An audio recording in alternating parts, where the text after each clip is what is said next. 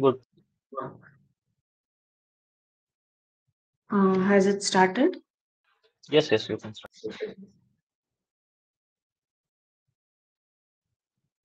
Uh, shall I start? Yes, yes, please. Okay, okay. Uh, yeah, so hi everyone. Uh, very good morning and welcome to MuleSoft Mysore Meetup Group. So today we are going to start with the first session of the year. So we have our speaker Vijay Kumar here and he's going to talk about state management in MuleSoft.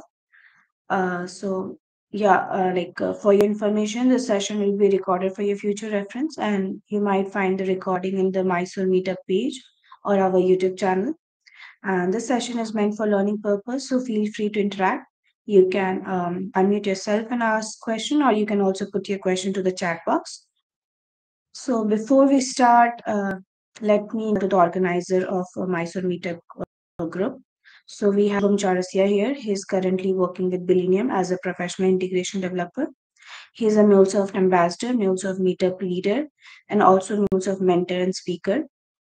Then we have Giridhar Meka. He's currently working with HashedIn as a technology architect. He's also a MuleSoft ambassador, MuleSoft meetup leader, and mentor.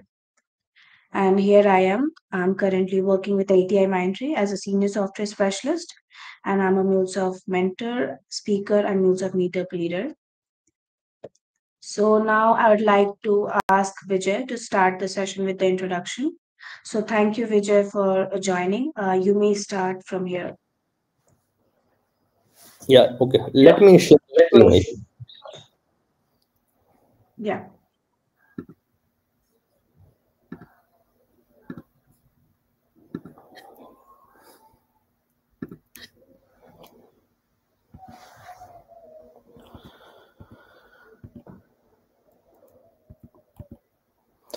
Okay, uh, talking about myself now. Uh, again, my name is uh, Vijay Kumar, and I have overall experience of 4.5. And currently, I'm working with HashedIn as a senior engineering management specialist, and I have completed my certification in MCIA and and uh, MCD level one.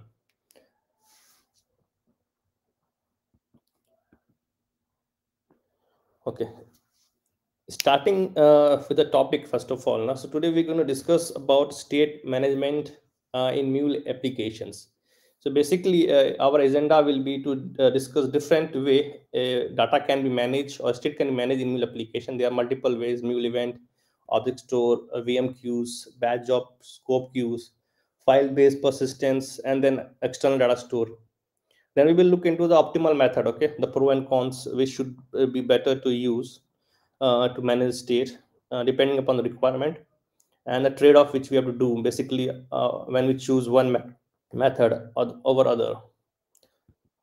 Then we will explore the state implementation how this uh, uh, state implementation happen in mule application specifically for two runtime which is cloudhub 1.0 and cloudhub 2.0 we have different runtime but we will only explore two uh, for vm queues and cloud hubs then we will just talk about example and then yeah question answers. So starting uh, so managing state in application. Basically we manage state correct uh, to store data somewhere in external system or or in a in a in a way to share data for future use cases okay? Generally we use external system like the database vm queues uh, queues so using these ways, we share and store our state in general application. But we will provide uh, different ways also, uh, which we can leverage to make to optimize our solution. State uh, preservation generally happen in two ways. Like the, the the way we do is one by caching, or by publishing to VM or JMS, like we do.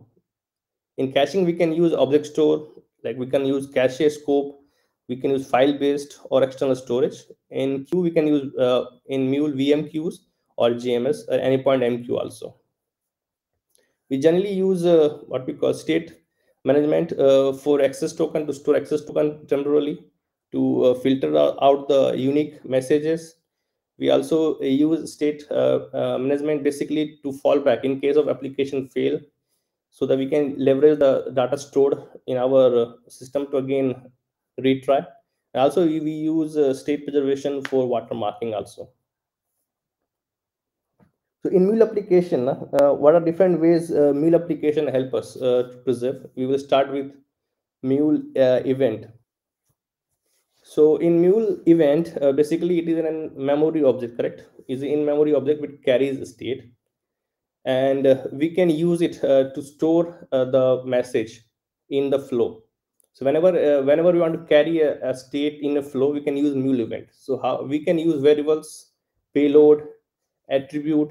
In this way, we can carry the state in one flow via uh, transport protocols transport protocols, or in, in or queue also like we can use this event basically to make sure that uh, flow remain uh, stable and we can pass it on to the flow in a single flow using variables and payloads so the demerit here is that since the mule event gets stored in the JVM heap, as soon as the flow complete, we will lost the state. And it can be used uh, inside in single application or single flow itself. So we cannot use or you cannot share the event with other application other applications until unless we use transport protocol. But still, that will be lost if the flow crash or flow com flow completes. Okay, uh, this is about mule event. Moving on to next uh, uh, way, which is we can store state using object store. So object store again is a basically a key value pair a kind of uh, store mechanism which we use in our MuleSoft, which which basically help us store the data. There are different ways uh, we can store correct data in object store. In Mule application, it get we part with the default object store instance, which is or automatically get uh, selected. In object store, uh, we again have two different type of object store. Correct, one is persistent and non-persistent depending upon the requirement we can choose either of them to store the state and if you if you choose non-persistent which is in memory in memory uh, kind of object store uh, we generally use this for small data or to sync up the data which is not needed. And data will be uh, loaded every time when the server start. And second type is, is a persistent. In persistent uh, object store generally used for big data and when we need to sync up the data and data will survive even if the crash happens. And the behavior of object store uh, basically changes different depending upon the runtime also in cloud 1.2 there's a different behavior and 1 2.2 is a different behavior. We will look into it uh, after after this.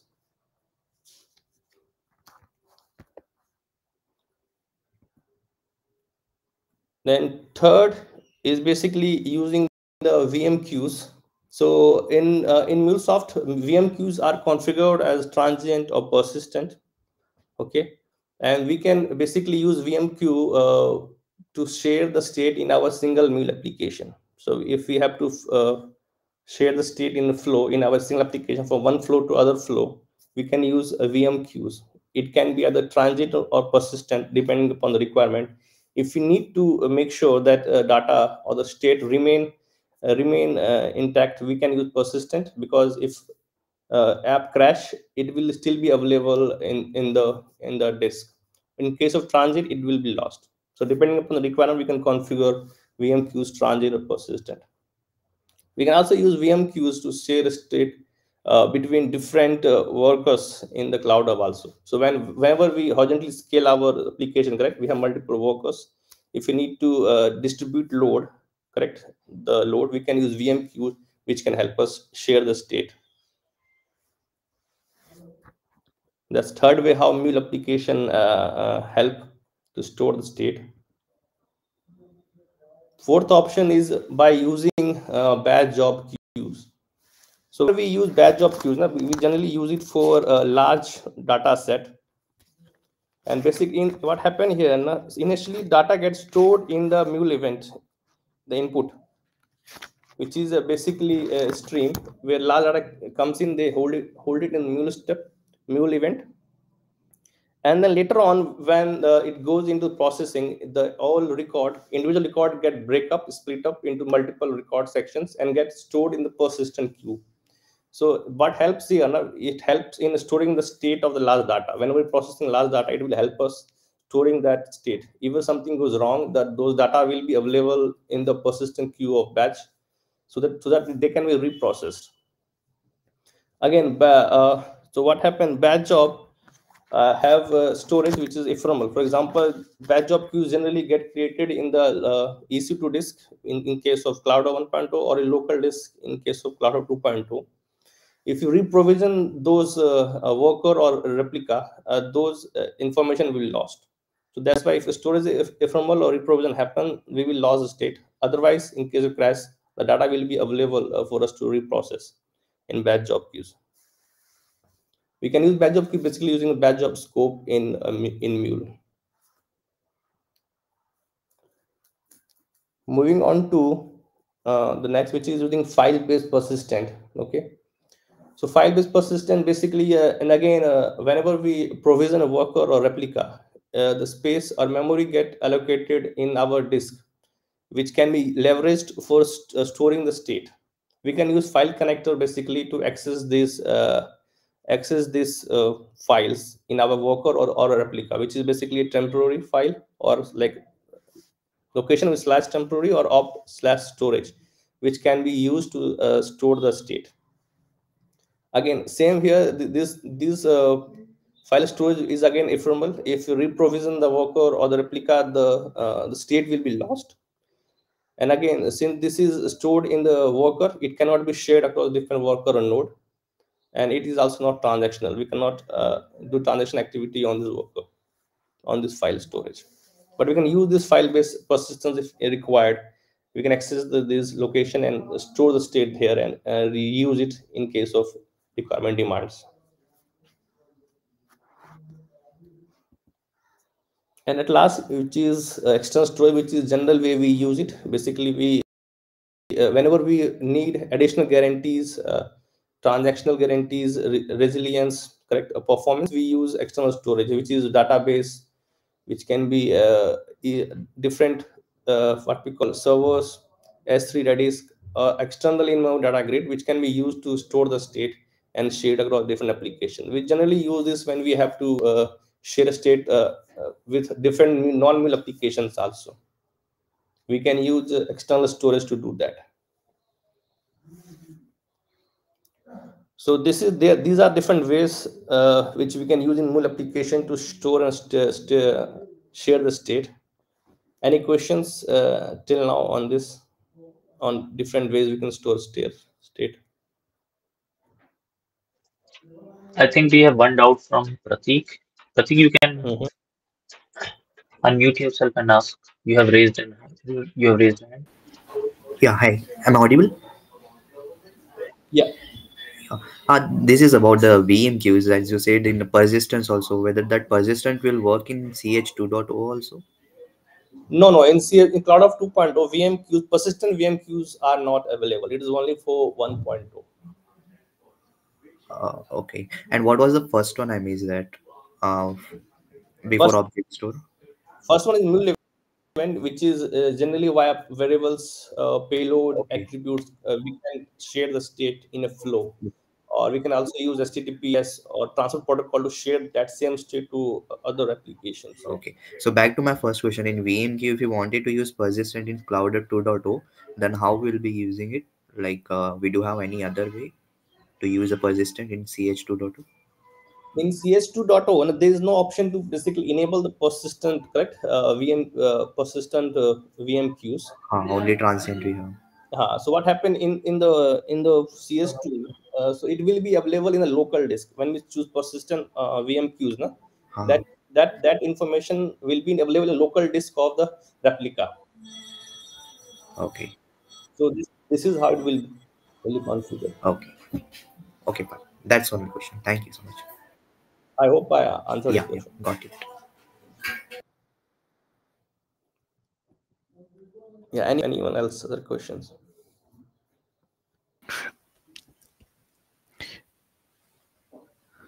Uh, I have a question. So, I mean, the the storing the state is nothing but uh, will it store the the flow, the particular the flow state or uh, or any like uh, the variable or the payload state? Okay, so storing the state, state basically the data. Data can be anything, uh, a key value pair, a token, or a use array. any payload correct? It just basically is storing the payload in a way of that flow like which you want to use or share across for future use case. Like for example for example simple example take it as access token correct? You want to store the token in the object store which can be leveraged for multiple future api calls for a certain time, time period correct? So Yes. in a way there are different options. You can store a payload or a state which we say in different mechanism different ways. So is there any way to like i mean uh, uh, for example the particular one of the flow state got uh, flow got failed so the particular state got i mean so recorded. Is there any way to retry that particular flow again based on the state yeah so it's like like we have different options right? like like for example if you uh, cho- choose mule event na, correct? Which basically store a state in jvm heap you cannot retry correct? But if you choose object store while designing a solution as a persistent object store you can again retry to fetch the uh, information from the object store and again retry that thing. Same from the vm queues. If you if you choose persistent vm queues uh, you can again uh, uh, retry to reprocess a consume the message once again uh, upon retrying. So depending upon the uh, options, some options give you option to uh, retry basically means reprocess because data will be available, and some of the options does not doesn't give that option because the data will be lost uh, as due to it will be lost. It, it is hosted in JVM. So yeah, de- depending upon different option, uh, you can retry to reprocess the same data. okay thank you. Yeah for example in batch job correct? In batch job scope uh, the the whole data last set data get written in a persistent queue. If something goes wrong uh, we can retry. Again with that persistent queue that i have stored in persistent queue we can retry to process those set of data. So yeah depending Hmm. upon the option we choose yeah. Okay. Thank you. Okay okay the moving on yeah Hi Vijay. Yeah. May I know the difference between persistent or non-persistent? okay persistent and non-persistent basically means no so in, in a simple word when, when you say persistent no, data will be stored in a in a way that even if application or app crashes the data will be still available we can recover the data in case of non-persistent if if app or application crashes we cannot recover it it will be lost. Okay? We cannot retrieve or re- recover it again. For example in object store if you say non-persistent if you store something in non-persistent object store and app crashes or we close the application correct? Uh, the uh, what we call the data will be lost from that place. We cannot recover or re- uh, reuse that. In persistent object store if you store something in persistent object store even if the app crash if we stop the application we can again use uh, we can again recover the application data from that object store. So yeah that's the difference. Like it will be able to recover in persistent. It will be lost in non-persistent. Thank you. Okay. Okay so moving on uh, so we have different ways correct? So we, so in our when we design our solution okay depending upon the requirement uh, we can choose these ways and we can optimize our solution so based on the requirement whether we need faster performance or more reliable uh, solution. So we have different options but based upon them we can choose uh, which one we can use solution. For example mule event. So pro is that it is the fastest way to share state. Since it is stored in the jvm heap which is in memory this is fastest way to share the state again the cone is since it is in in memory it is not reliable. As soon as jvm crash or the flow complete the state will be lost. You cannot retrieve or reuse it for some other or or you can you can't share it to some other application. So depending upon a requirement you can use mule event. If you have to share a state within the flow then you can use mule event. It will be faster. Second is object store. Again pro is state uh, state can be shared using the persistent object store and it is also reliable. And again it is uh, it is also faster not fast as mule event but in general terms it is faster and also reliable. In cons what happened we cannot use like a database correct? This object store is not database. It, it is used to store information in a key value pair but we cannot use query. We cannot fetch as based as query. Data is also stored only for 30 days. So whatever you store in object store, it will be uh, it will be available in the object store for 30 days if you use persistent object store. Third option is uh, uh, in VM queues, correct? VM queues, uh, again, a state can be shared. It is also reliable, but slower than mule event and object store. We generally use it for a single application, okay? Like in, in single application, we have multiple flows. We want to share some state or data from one flow to another flow. We can use VM queues, which is a better way to, in performance wise, it is it is reliable and we can share it. And again the cons it doesn't have any advanced queue feature. Like we cannot uh, it doesn't have what we call advanced feature of queue like jms queue apache queue or, or anypoint mq so don't uh, think of that. So vm queues generally uh, use in single application or to share the load uh, whenever we do horizontal scaling. We have multiple workers and there's multiple load. We can use vm queues to distribute load also in batch job queues so what a, in batch job queue basically it is used for uh, large data set. So if you have large data set we generally use batch job scope and batch job scope create this persistent queue which is batch job queues and which is help for large data set which we can process large data set uh, without an issue. If something goes wrong again the batch job persistent queue will help us to restore and re recover the data and again retry so again, when we whenever we talk about batch job queues, only con is, is a perform issue because when we deal with large data set now, if we choose persistent queue, correct, it will it goes outside uh, the worker, which is basically in CloudHub 1.09, it goes outside the worker, which uh, it is, goes into Amazon SQS with persistent queue. So due to this, the performance issue will be there if you choose persistent queue. Generally, we have a what we call a parameter uh, via which we can disable it, but still. Um, there is one issue in performance. If we choose persistent queue which goes outside the worker and it, it might reduce the performance in a way. Third is uh, last sorry file based uh, second last is file based storage. File based storage again is a reliable storage because the data will be uh, written in a file in the worker itself. Only issue is that uh, like it is written in the worker uh, local disk okay? If we reprovisioned or what we call reprovision that worker if we delete and restart worker we will lose whole data. So that's the only issue uh, with that.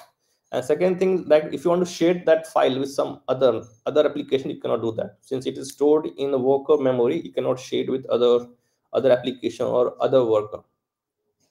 And at large is external system which is generally way of uh, storing the state. It is it has more performance more reliability and durability like sftp servers uh, redis in-grid memories. There are different ways we store, right? The database, Anypoint MQs, queues, which we use basically.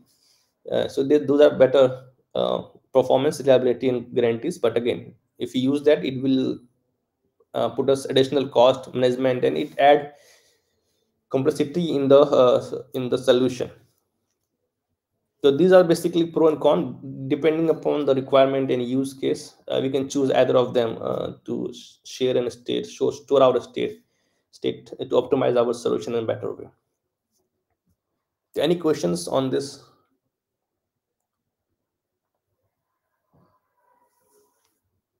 Okay. Yeah, anyone. I have a query, Vijay. Yeah. So we have many options, right? Yeah. So what is the best way? I mean, it is up to requirement or specifications. So Yeah. what is the best way we can use to hold the state? So there is no best way, correct? As such, correct? Uh, again, like like mentioned, uh, based on the current. For example, like if you want to uh, process large data set, correct? hmm Generally, batch job queue will help. You cannot, you do not want to use VM queues or file based, correct? Because you, it will be more sensible to use batch job queues. If you want to share your data uh, with external systems, correct? You can use external system queues, external system uh, method, which is SFTP server or MQs or queues or database, correct? Or you want to just temporarily hold the token or temporarily hold the some user information in object store. You can use object store. So depending upon the uh, the requirement, uh, uh, and anyone can choose. There is no best as such. Everyone has pro and con uh, in, in terms of it. Okay. Just to give a brief idea, like anything everything cannot be best no? one cannot be best depending upon the requirement one will be better than other so that's why each have one pro and cons each uh, options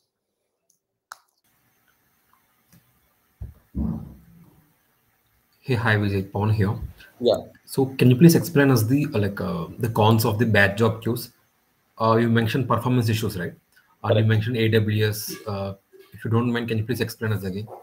Yeah. So what happened here now? So so basically, what happened? Uh, persistent. Uh, so when you choose persistent queue in Cloud 1.0, there's option to choose persistent one, correct? Persistent queue in the runtime manager. Okay. When, Right. whenever whenever we choose that option, na, so what happened? This batch job queue, batch job queue is also a persistent queue. So to use that queue, na, it goes outside that persistent queue which I enabled, right? That it use that queue itself. And when we ch- uh, uh, check that, it goes outside the worker because in worker it will be much faster. It goes outside, which is Amazon SQL service. It uh, it call from there, it store there, and then fetch from there. So there is some performance issue rather than in memory. So if you don't check the persistent queue, na, the persistent queue will get created inside the worker itself in, in the EC2 disk or the local disk itself. So it will be much faster to fetch uh, and uh, process the record from the worker itself than from the Amazon SQS. That's why there's a performance issue when we deal with large asset. I hope it makes sense. Yeah, Vijay. Thank you. Got it. Yeah, yeah, that's the difference. It is Vijay, one question. yeah. Uh, like uh, if we are getting uh, huge data, like a big file, like uh, let's say two or three GB or five GB of a file from uh, some systems, okay, and that we need to proceed, then uh, file-based storage will also work, right? Not only batch job queues. yeah file based storage in file based storage what happened was, uh, since depending upon the cloud or worker or the replica uh, uh, size no that Uh-huh. file that storage get assigned it is not a uh, use so depending upon the worker or the replica size a storage get assigned to us which we can leverage. So generally uh, it is not recommended to use file based for huge data set correct? Uh, Okay, but if you're if you're not using file-based storage, then uh, let's say if we got uh, so from data from the source of 5 GB or uh, 10 GB of Excel sheet, that we need to be processed to target system. So in between, if something uh, application get crashed and it goes to OOM out of memory, then how we can handle that if you're not using file-based? Yeah, so what happens when we say file-based storage, no, this file-based storage is of Mule itself, okay? And then and then we have external system, which is SFTP subject. We can use SFTP basically to store this five five GB of information in a SFTP server in a file. Okay. If you're talking about specifically file-based no, storage, which is of Mule. Okay. In, in Mule Worker, we have a specific CloudHub Worker. CloudHub Worker have one GB or two GB of uh, what we call uh, uh, space, which which they, they provide, correct? Okay. that space we use for temporary basis uh, to uh, manage our state. So we generally don't use uh, large data set in mule file based storage. We can use external systems, which is SFTP, and put it uh, in a SFTP server where we have bigger size to store those files. Okay. So that is an external system, like Yeah, system. Yeah, correct. Yeah. If you have that, that, that big file. Or if you want to process in queue, then again it will break the record into multiple sets. Then you can you can use that job also. Break the multiple records and then process uh, in in those batch records. But before entering into batch job, won't it be failed because of OM issue? Batch job issue. I don't think so. Uh, what happened is it will since it will be a streamable, correct? It will be a uh, re- repeatable streamable. It will keep on putting data. It will not store whole five GB once. Okay, it will pile up. It will break up the those data into the, so the repeatable streams and then store it one by one. It will not just uh, put everything in. If, Okay. if, Okay, I'm wrong, if I'm wrong somewhere, if knows someone better, they can check. Yeah, currently we are facing this issue. That's why I just asked, working on that. Oh, okay. Yeah. Uh, so the same thing. Uh, see, if we implement batch job, so batch job implemented inside our mule, right? Mhm. so mm, before before passing to batch job, first we need to retrieve the the whole the the payload into our mule flow right in that case if the file size is as he mentioned uh, 3 gb or 4 gb how it will uh, uh, keep in memory in mule event it cannot hold uh, that uh, huge payload right before uh, sending to batch hub. then Yeah, obviously we will right. get out of memory issue no Exactly, that was my question. Yeah, yeah, right. right. So, see, my, what my understanding is, I might be wrong. Anyone uh, who have better knowledge on this, what happens uh, in the uh, in a mule? na, We have a streamable May I input. Yeah, yeah, please. Yeah. Uh, yeah, I think file based in the sense whenever you are using the file connector, so what you do, you give one path, right? Let's say you are working in your local system. What you do, you give your local system path, like uh, Windows somewhere, right? In the folder, you will store that. But when you are working in the cloud with the file connector, what you do, the path will be somewhere under the SRC main resource. Okay. So 0.1 worker will have 500 MB memory, right? So Mhm. within this memory, that file connector will use that capacity, somehow capacity to store the file. So it is just to leverage some uh, small files. It's not like to uh, you know dump big data. It's it's having the capacity of 0.5 GB, uh, uh, 500 MB, right? So how we can store uh, a GB memory? You cannot do that. So for that, you have various ways. Like let's say you have a file, one GB is coming. Okay, uh, there are various methods. Like if you want to divide the file size with the uh, into multiple chunks with the file size, that also you can do in Mule. Okay. Otherwise, if you want to store something, the file which is coming, uh, let's say your file is going to crash uh, or you are getting any error in that case you just use one uh, error handling section and in the error handling section you write it to somewhere the local uh, like sftp or somewhere you definitely have to use something external uh, this is my idea Okay. Mm. So generally, what happens just to give you my uh, idea now. So here, what happened? So there is a streamable streamable input, correct? And the streamable input have one option, correct? How much of memory byte it will pick in to basically store. So this is uh this is one way to do it, correct? To set a limit basically in batch job to pick those file one by one uh, like mentioned by one guy correct break break that into multiple sets of data or you can use external system basically to store that file correct and read from there in part by part break those multiple part and then pick one by one one one file uh, to basically process Okay. Uh, there was one guy like said uh, that we can use the streaming also, right? If you're using the SFTP and we can call the streaming. How does it work? Like, I might be go out of topic, but just wanted to know how that streaming helps in that. so streaming uh, how is streaming helps now basically now what happened in streaming now so it basically automatically it divide the data into chunks okay? Like we have a streamable uh, file of a gb is coming incoming. It just break that file automatically into some chunks okay? Like 500 kb 1 mb that amount of data it will process one by one. Pick it one by one into its its memory and then process it. Rather than uh, allowing whole data to be uh, be fetching at one go Oh, is it? That is a power Oh. streaming, is it? I think one thing to add here, I don't. It doesn't take the whole file into the memory Mhm. from the source itself. It takes into chunks um, in a repeatable file stream, Yeah. and then it processes it. So Yeah. the whole file doesn't come into the memory, and uh, we do, go, don't go out of the space uh, when using the streams. Right. And if you use like SFTP operator or or like S3 operator where you have files, you will always have this option of uh, streaming. Streamable. Okay. So streaming uh, will just take the data in chunks and will process instead of taking a full load data. Is it? Is con- is it correct?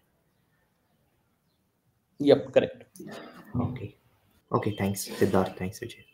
Yeah. So we had this same issue, correct, in our uh, one of those uh, implementations. What we have done is the basic way, just to simplify this thing. Na, we can break those whole file, na, a 5GB file, whatever file here, into the multiple chunks into some external uh, file server location, and then pick basically one by one uh, through file. You can read file one by one to process it.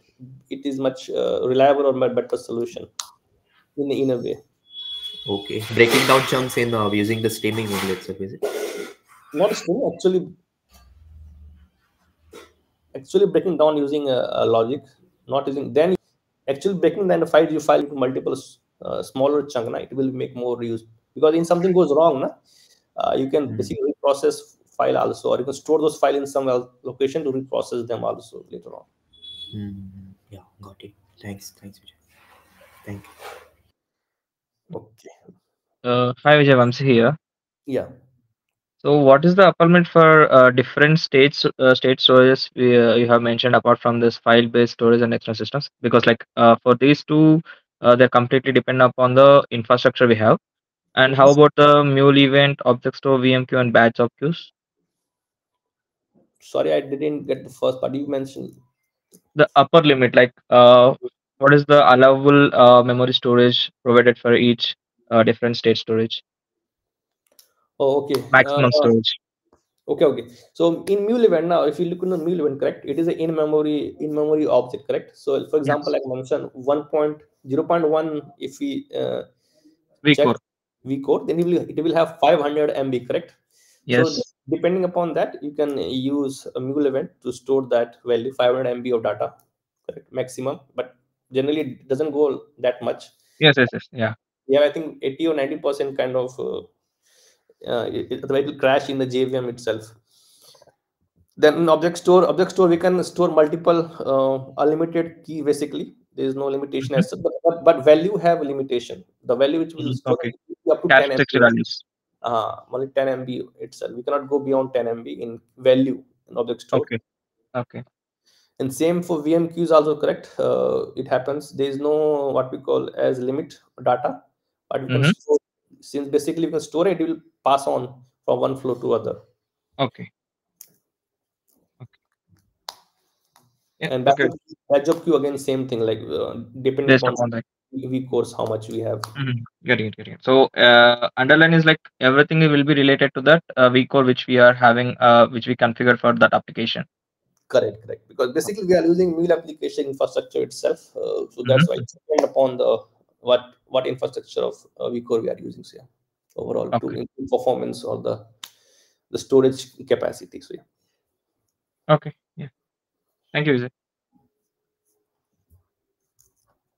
Okay. Mm, if you're good, we can move on to the state implementation, okay, which is generally about object store and VM queues. So we have different runtimes like uh, run, uh, custom hosted runtime, runtime fabric, CloudHub 1.0, CloudHub 2.0. We will just talk about 1.0 and 2.0, where how the Mule basically implement this object store and VM queues in that behave basically.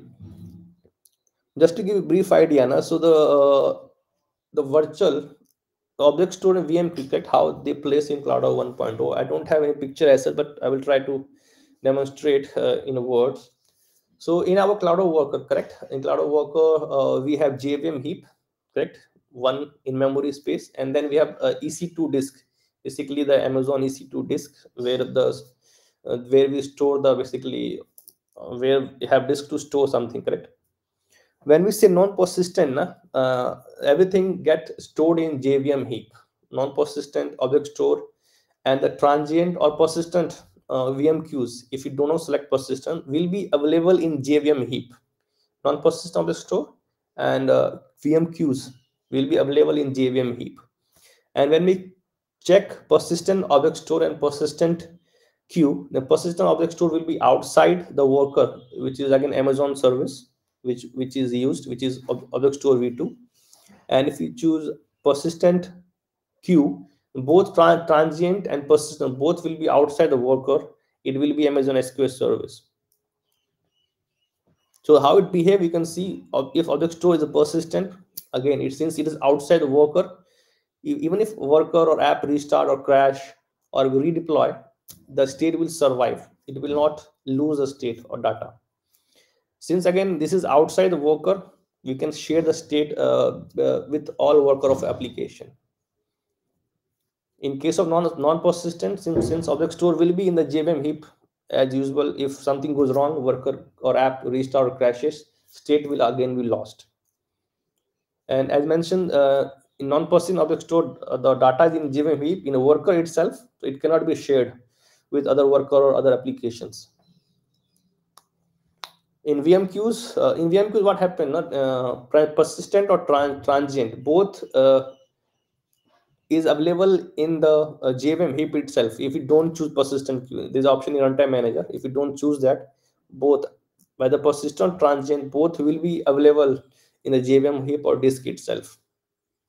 If it is available in JVM heap or disk, if something goes wrong, app or worker restart crash, the state will be lost.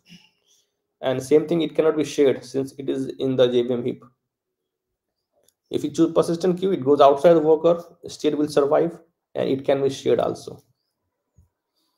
Any question on this behavior of OS or VM queues in CloudHub 1.0? If anyone have. Okay. Yeah anyone have something okay uh coming to the last part which is behavior of object store and vm queues in cloudhub 2.0 so in cloud 2.0 how it works. So basically we have in cloud 2.0 we have replica. Like in 1.0 we have workers we have here we, we have uh, replicas okay? And object store again if it's persistent it will be outside. Object store behavior is kind of same here. If persistent state will survive and it can be shared between the different worker. Using the os v2 if non-persistent again it is inside jvm heap it will be state will be lost and the state can't be shared in case of uh, vm queues no? so what happened in cloud 2.0 we don't have persistent queue like in uh, 1.0 we don't have persistent queue in uh, 2.0 so there's there's a cluster or non-clustered part okay when we say clustered a hazelcast is basically used between the two replica to share a state. Whatever state is available in replica 1 via hazelcast, it can be shared to the replica 2. In case of worker, we have worker 1 or worker 2. In, in the cloud, we have replica using hazelcast, it can share the state. So if we choose non-cluster, okay, if it's not clustered, there is no hazelcast, there is no uh, hazelcast to, uh, there's no cluster basically. Then in persistent or transient queue, if something goes goes wrong app or worker restart crashed since the data is stored in the jvm the state will be lost and same it cannot be shared between the different replicas also but if if uh, persistent and transient is clustered okay?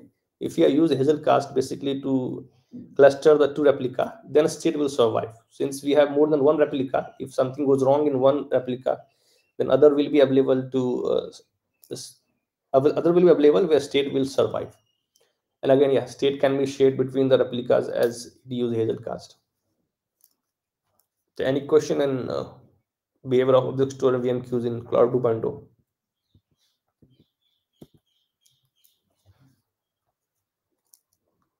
this is very generic uh, behavior of object store and vm queues So object store behavior in CloudHub 1.0 and 2.0 are same, right? Yeah, it, it behaves same because object store v2 is also available uh, in the CloudHub 2.0, so that's why behavior remains same.